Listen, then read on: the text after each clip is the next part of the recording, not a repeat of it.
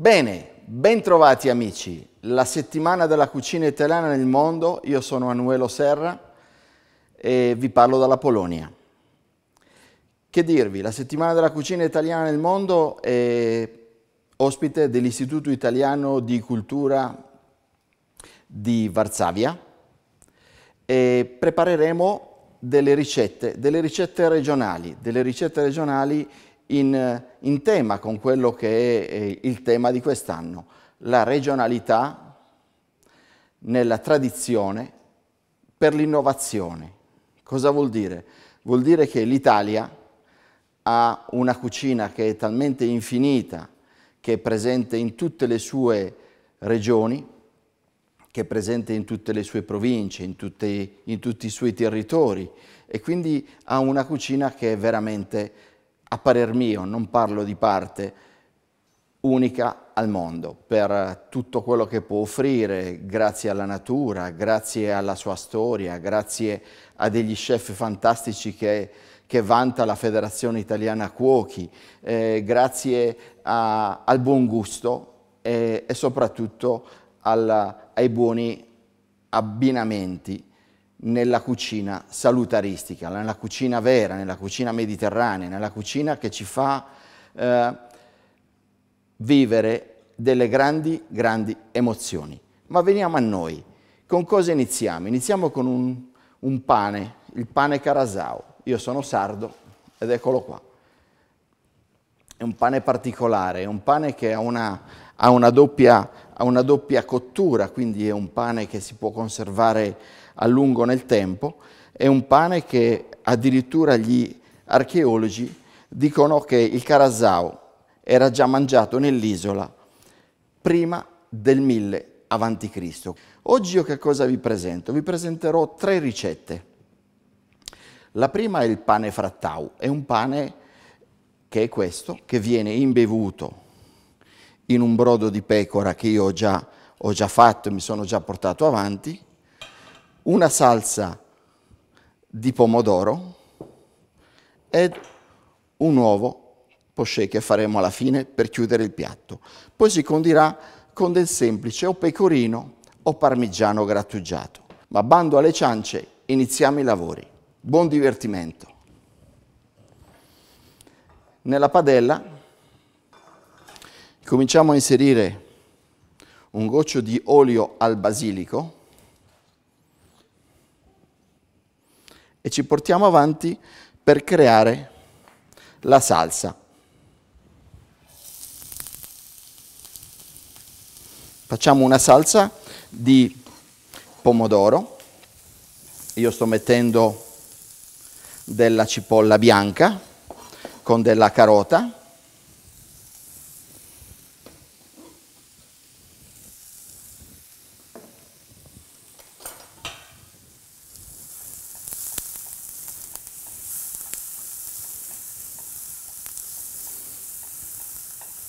un pizzico di sale.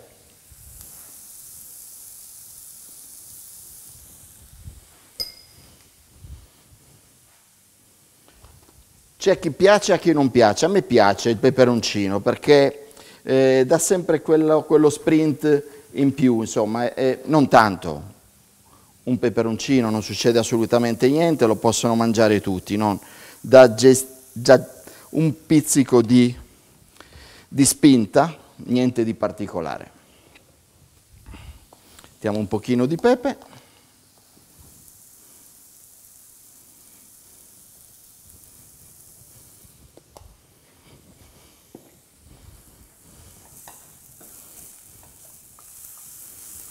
Esce fuori un profumo, ragazzi, che mi dispiace per chi non lo può sentire. E incomincio a mettere subito i pomodorini pizzutello. Il pizzutello è un pomodorino che si trova in Campania.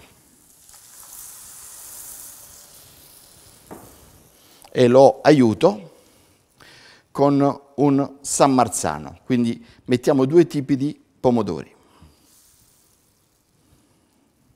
Adesso lo andiamo ad arricchire anche con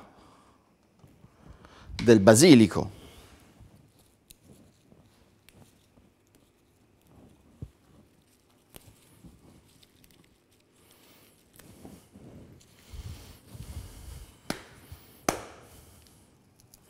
Basilico non si taglia con il coltello, eh?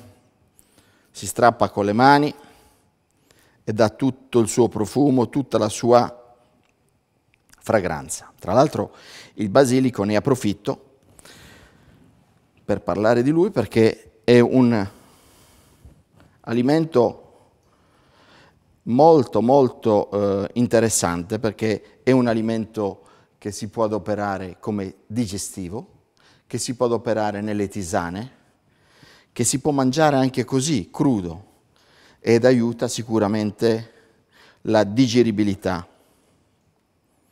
La procedura prevede questo. Il pane verrà imbevuto in questo brodo, verrà passato, verrà aiutato con questa salsa, spolverato con del pecorino o del parmigiano e si fanno due o tre strati, tipo una mille foglie. Dopodiché si conclude mettendo quest'uovo sopra, quindi un piatto molto ricco e sostanzioso.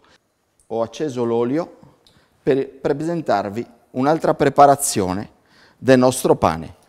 Quindi questa è il nostro pane carasau o carta da musica, così chiamato in Sardegna, e adesso lo rendiamo e lo trasformiamo in pane guttiau. Il pane guttiau si può fare in due modi, o fritto o al forno.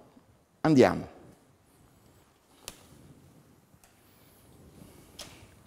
Il pane guttiau si condisce con del rosmarino e con del sale.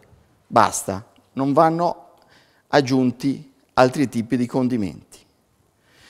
Con questo pane qua noi faremo dopo anche un dolce, il dolce della nonna, però ci arriviamo più tardi.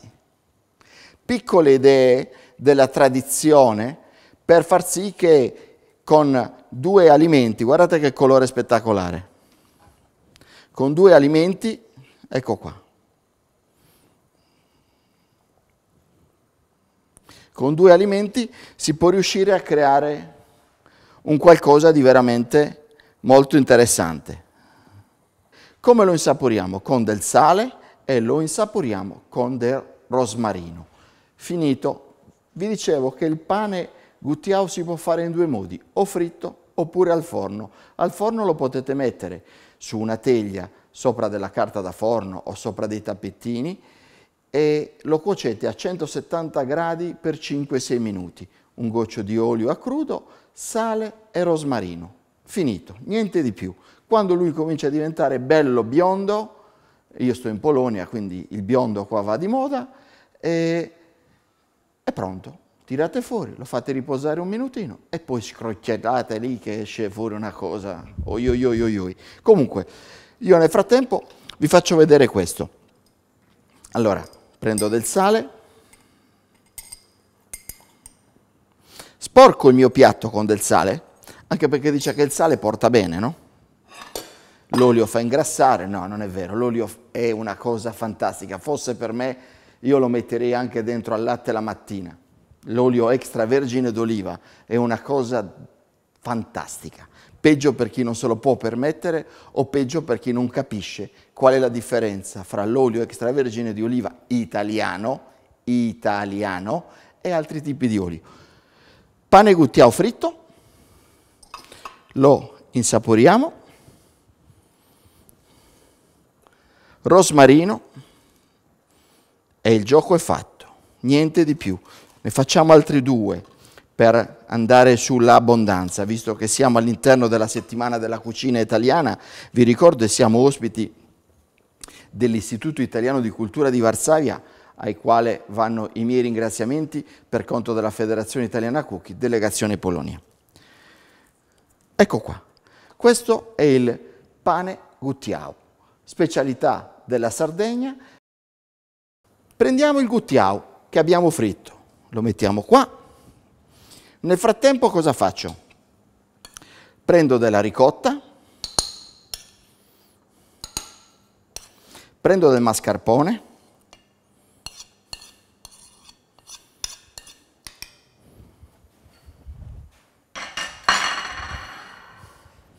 prendo dello zucchero a velo,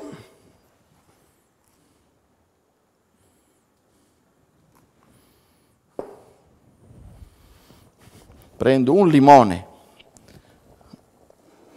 prendo un limone e un arancio,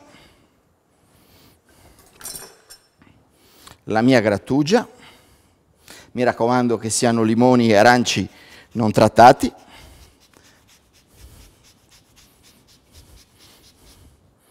tanta roba.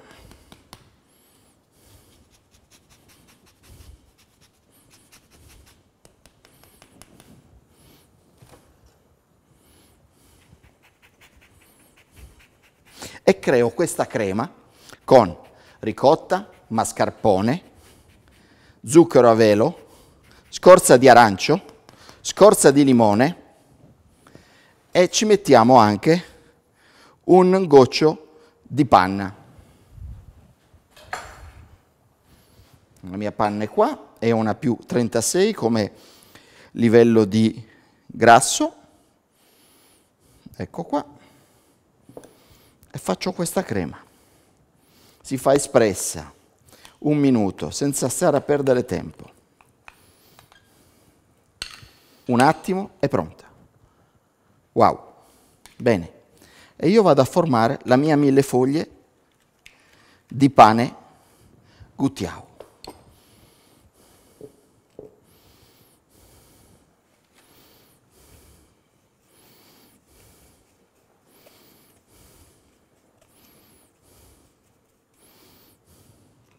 Uno,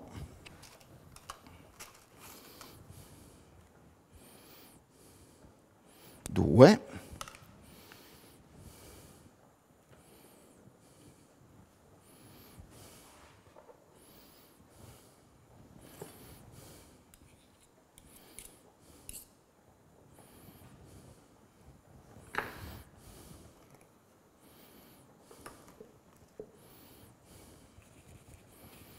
e ne mettiamo ancora un altro perché vogliamo abbondare, perché in questo periodo abbiamo bisogno di addolcirci ulteriormente la bocca. Eccolo qua. Chiude, chiude il piatto.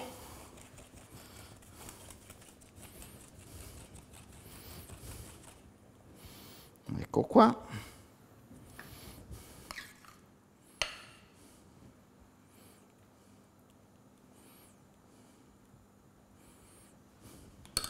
Eccoci qua amici, ancora un attimo.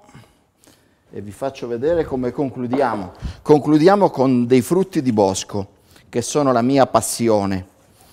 E in più riescono a darci colore, riescono a darci acidità. Questa è una mia idea, poi voi potete concluderlo con del cioccolato, con dei pistacchi, con delle nocciole, come più vi aggrada.